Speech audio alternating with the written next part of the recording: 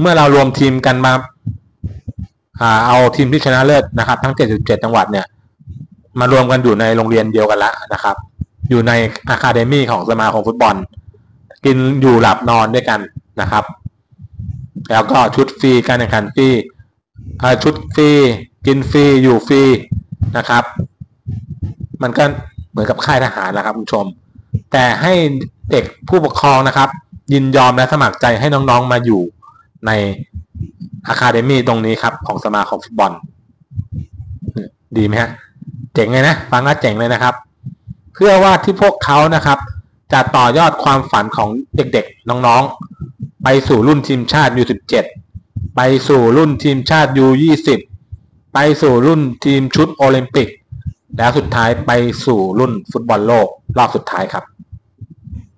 สุดยอดนะ สุดยอดครับ มื่อน้องๆเหล่านี้พัฒนาการเติบโตขึ้น เขาจะเล่นเก่งแล้วนะครับ แล้วจะมีแมวมองจากสโมสร ฟุตบอลจากทั่วโลกมาซื้อตัวในราคาที่เหมาะสม แล้วดึงน้องไปอยู่ ไปเล่นฟุตบอลอาชีพ แล้วน้องก็มีเงินเดือน เหมือนอย่างที่เมสซี่และโรนัลโดได้รับเงินเดือนเป็นล้านเป็นสิบล้านได้ครับ เทียบเท่ากันฮะเจ๋งไหมฮะไอเดียนี้ เจ๋งมากเลยนะครับ เจ๋งมากเลยนะครับ แล้วก็ใช้งบน้อย สมมุติว่าทีมแชมป์ได้หนึ่งแสนบาทนะครับ คูณเจ็ดสิบเจ็ดจังหวัดอ่าหนึ่งแสนคูณเจ็ดสิบเจ็ดคูณเจ็ดสิบแล้วกัน ตัวเลขกลมๆนะครับเท่ากับงบเจ็ดล้านบาทเท่านั้นเองครับคุณผู้ชมฮะงบเยอะไหมฮะ ไม่เยอะเลยครับ ไม่เยอะเลย แต่เราแลกมากับความคุ้มค่าในการพัฒนาบอลเด็ก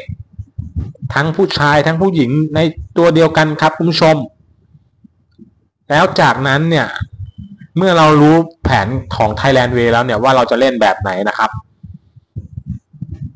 คุณผู้ชมว่าเราจะเล่นเกมลุกหรือเกมรับครับ ในการไปแข่งระดับเอเชียคำตอบคือนะครับ ผมจะตอบให้เลย เราต้องเล่นเกมรับ ในแบบ Thailand Way คือเกมรับครับ เพราะว่าอะไรรู้ไหมครับ เพราะว่าเรายังตามหนังญี่ปุ่น เรายังตามหนังเกาหลีมาอีกสามสิบปีครับ เราไปเล่นเกมลุกใส่เขาไม่ได้เลยนะครับ ฉะนั้นการฝึกซ้อมฟุตบอลของเรา เวลาเราไปอุ่นเครื่องกับบุรีรัมย์ยูไนเต็ดนะครับ ทีมที่เก่งที่สุดของประเทศไทยเขาเราจะต้องให้เขาใช้ผู้เล่นสิบห้าคน ในการต่อสู้กับเด็กไทย ตั้งแต่อายุ U15 นะครับ U16 U17 เนี่ยครับ 11 คนครับ หลายหลายท่านฟังมาถึงตรงนี้อาจจะมองว่า เฮ้ยมันโหดร้ายเกินไปเปล่า 15 คนลุม 11 คนมึงเองบ้าเปล่าวะ ไม่บ้าครับคุณผู้ชม ผมกำลังสอนไทยแลนด์เวให้กับทีมชาติไทยกับน้องๆนนักฟุตบอล ว่าเราควรจะฝึก transition อย่างเดียวเท่านั้นครับ บอลอื่นเราไม่ต้องไปฝึกครับ ฝึกบอล transition คือโต้กลับเร็วอย่างเดียวเท่านั้นที่เบ็ดคนโต้กลับสิบห้าคนด้วยความรวดเร็ว แล้วได้ประตูเขาด้วยนะครับ อย่างนี้สิ มันถึงจะมีศักยภาพพอ เวลาเราไปลงสนามแข่งขันจริง เจอเกาหลีเจอญี่ปุ่น เราจะเจอเกมแบบนี้แหละครับ เขาจะบุกใส่เราอย่างแน่นอน แล้วเราจะโต้กลับเร็วกับเขาและได้ประตูกับเขา อย่างน้อยๆก็ชนะเขาสามสองหรือชนะเขาห้าสองหรือชนะเขาหกสองอะไรประมาณนี้นะครับ นั่นคือความจริงครับคุณผู้ชม ผมเอาความจริงมาพูดครับ การฝึกซ้อมของเราในสนามซ้อมเราจะใช้ 11 คนเล่น3 section นะครับ section ละ 30 นาทีนะครับฟังดีๆนะฮะ เราจะเล่นทั้งหมด3 section section ละ30นาที สมมุติเจอบุรีรัมย์ยูไนเต็ดนะครับ ชุดใหญ่ เราอยู่15นะครับอยู่15ไปเล่น11คน เจอกับบุรีรัมย์ยูไนเต็ดลงสนาม15คน ถามว่าใครบุกใส่ใครครับ บุรีรัมย์ยูไนเต็ดต้องบุกใส่ทีมชาติเราอยู่แล้วใช่ไหมครับ ถูกต้องครับ เพราะเราจะฝึกซ้อมแบบ transition เร็วในการโต้กับบุรีรัมย์ยูไนเต็ดนะครับ แพ้กี่ลูกก็ช่าง เราไม่สนใจในการพ่ายแพ้ เพราะมันเป็นสนามซ้อม มันเป็นทริอัลมันเป็นวิธีฝึกซ้อมวิธีการที่เราจะใส่ลงไปในสมองของน้องๆเรา ตั้งแต่ปลูกฝังให้เขาตั้งแต่ลีกฟังชื่อลีกก็รู้แล้วครับ ว่าน้องๆเขาจะต้องเลี้ยงหลบสามคนแล้วไปยิงประตู เป็นไงฟังชื่อลีกก็เจ๋งแล้วใช่ไหมครับ ซึ่งการซ้อมแบบนี้แหละ นะครับซ้อมให้ชิน ซ้อมจนชินสิบเอ็ดเจอกับสิบห้าคนสิบเอ็ดเจอกับสิบห้าคน transition เร็ว และได้ประตู โดนโดนกี่ลูก โดนสิบลูกก็ช่างเราไม่สน เราไม่สนใจนะครับ เราจะไปเอาชนะเกาหลีญี่ปุ่นในสนามจริงในรายการ major ครับ เป็นไงครับ ผมนอน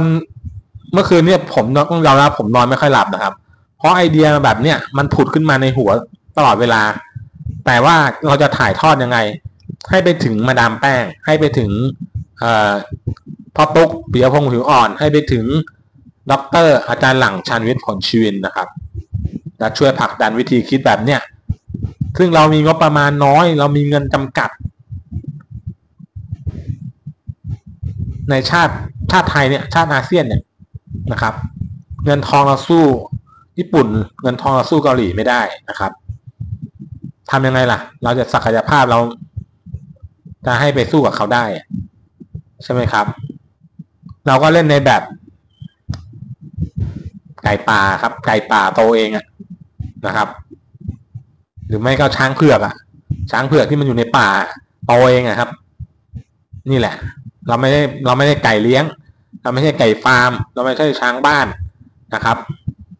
เราไม่ใช่ช้างฟาร์มช้างเลี้ยงอะไรทั้งนั้น แต่เด็กของเรามันจะเติบโตมาโดย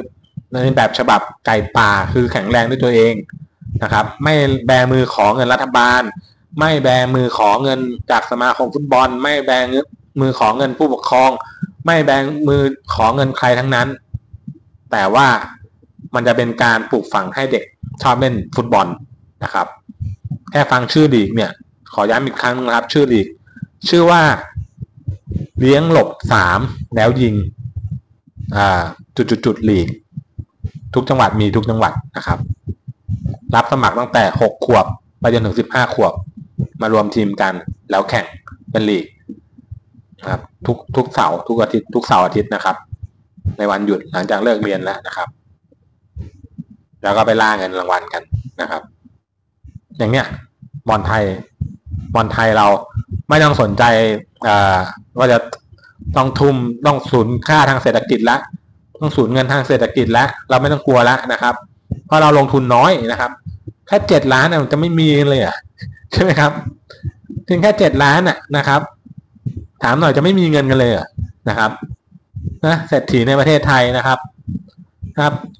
ช่วยๆกันหน่อยนะครับ ผม เพราะว่าฟุตบอลไทยมันคือฟุตบอลอันดับหนึ่งของประเทศไทยครับ นั่นเป็นกีฬาอันดับหนึ่งของประเทศไทย เราลงทุนกับตรงเนี้ย เพื่อที่ว่าเราจะส่งนักเตะไทยให้เหมือนบราซิลนะครับ ส่งออกกันเป็นแสนคน แล้วก็นำเงินกลับเข้ามาในประเทศมาพัฒนาประเทศให้มันเจริญก้าวหน้านะครับ เป็นหมื่นล้าน แสนล้านนะครับ เราสูญค่าทางเศรษฐกิจนิดหน่อยแต่ว่าเราไปแลกเงินก้อนใหญ่กลับมาในประเทศได้ครับ เอาไหมล่ะครับนะครับ นี่ก็คือทั้งหมดใน การที่ผมพูดไอเดียขึ้นมาในคลิปนี้นะครับ ก็ได้เวลาสมควรแล้วครับ ถ้าหากว่าชื่นชอบคลิปนี้ก็ช่วยกันกดไลค์กดแชร์กด subscribe เพื่อเป็นกำลังใจกับช่องตี๋ปั้นเพจนะครับสำหรับวันนี้ลาไปก่อน สวัสดีครับ